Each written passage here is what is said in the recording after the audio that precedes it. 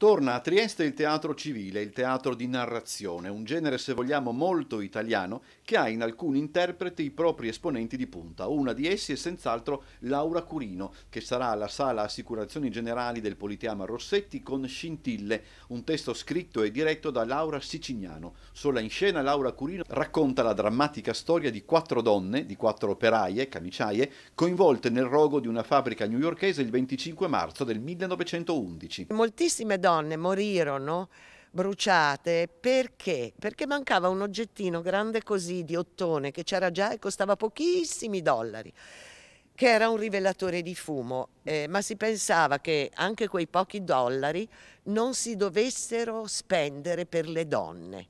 Spettacolo veloce ed intenso, Scintille riconferma, ma davvero non c'era bisogno, la grandezza di un interprete che sa partecipare a quanto racconta fermandosi sempre prima di risultare esagerata e riafforza il ruolo sempre più specifico del teatro nei confronti di alcune tematiche sociali. Far capire agli spettatori che siamo qui, dentro questa storia e che ognuno di noi è chiamato a farsi il proprio film della storia.